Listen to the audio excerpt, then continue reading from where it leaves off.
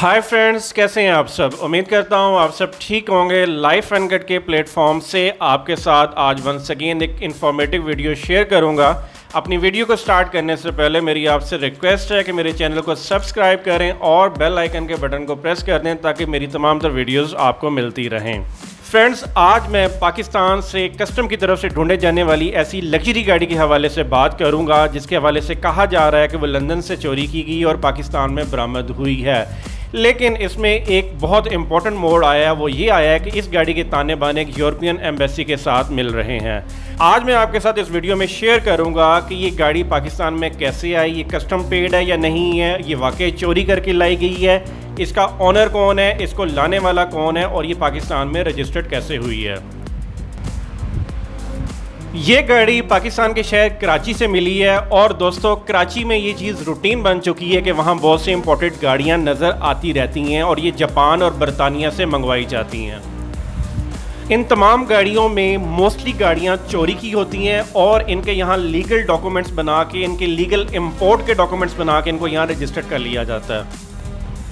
2018 में पाकिस्तानी मीडिया ने इस पर काफ़ी शोर मचाया, लेकिन आज तक इस टॉपिक के ऊपर किसी ने कोई बात नहीं की।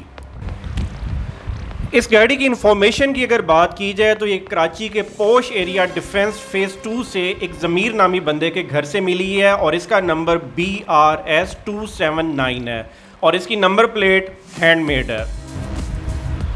और दोस्तों, यहाँ कहानी में आता है मोड़। जब इस नंबर प्लेट को सिंध रिकॉर्ड में ऑनलाइन चेक किया गया तो इसकी ऑनरशिप बल्गारिया के एम्बेसडर अलेक्जेंडर के नाम निकली। और इस एम्बेसडर की अगर बात की जाए तो इसको डिसमिस भी इसकी करप्शन की वजह से किया गया था। अगर बात की जाए किसी भी एम्बेसी के एम्बेसडर की तो वो किसी भी मुल्क में बैठा हुआ अपनी मर्ज़ी की कोई भी चीज़ किसी भी वक्त मंगवा सकता है। इसके लिए एसओपी ये होता है कि ministry of foreign affair custom वालों को लेटर लिखती है, जिसमें वो बताती है कि हमें ये चीज़ चाहिए और उसके बाद वो चीज़ मंगवा ली जाती है। और ये किसी भी डिप्लोमेट के लिए एक रूटीन का काम होता है और वो जब चाहे कुछ भी मंगवा सकता है, चाहे वो खाना हो वाइन हो, गाड़ियाँ हो पेट्स हो, और इन तमाम दर चीज़ों पे टैक्स ना होने के बराबर होता है। और इसी तरह ये लग्जरी गाड़ी भी पाकिस्तान मंगवाई गई। और अगर बल्गारियन एम्बेसडर अलेक्जेंडर के इख्तियार की मैं बात करूँ तो उसकी मैं आपको छोटी सी मिसाल देता हूँ कि इसको 1400 जी वाइन अलाउ थी, लेकिन ये शख्स हमेशा 2600 इंपोर्ट किया करता था। अब ऊपर वाली वाइन कहाँ जाती थी, ये आज तक किसी को मालूम नहीं है। और इस गाड़ी के मामला शुरू होते हैं 2020 में, जब बल्गेरियन एम्बेसडर अलेक्जेंडर पाकिस्तान में पोस्टेड थे।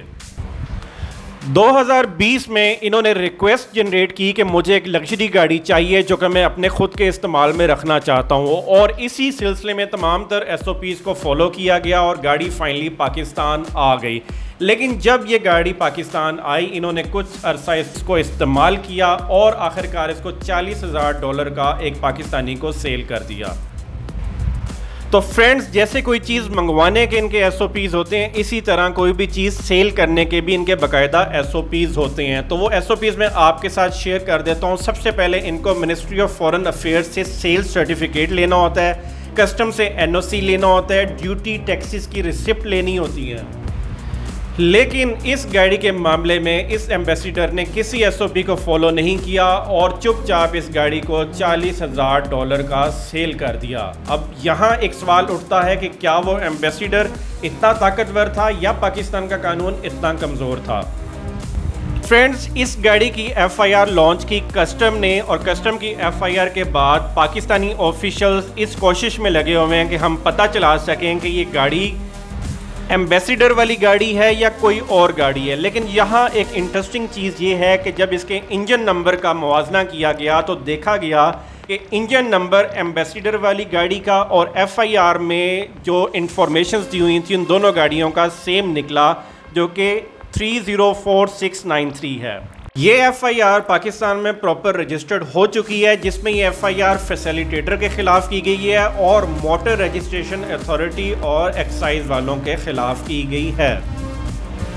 एफआईआर में उस शख्स का नाम भी शामिल है, जिसके घर से ये गाड़ी बरामद हुई। उस शख्स का नाम जमील है और जब जमील साहब से इस गाड़ी के हवाले से पूछा गया तो उन्होंने कहा कि मैंने ये गाड़ी एक नवीद नामी बंदे से ख़रीदी है और उसने मुझे कहा था, जब तक इसके लीगल डॉक्यूमेंट्स नहीं आ सकते, आपने इसको घर से बाहर नहीं निकालना और इसके लीगल डॉक्यूमेंट्स नवंबर 2022 में मैं आपको दूँगा। और जब जमील साहब से गाड़ी की चाबी मांगी गई, तब भी उन्होंने कहा कि गाड़ी की चाबी भी नवीद नामी बंदे के पास मौजूद है। आखिरकार कस्टम वालों को ये गाड़ी ट्रक पे लोड करके ले जानी पड़ी और जिसकी तस्वीरें सोशल मीडिया पे वायरल हुई हुई हैं।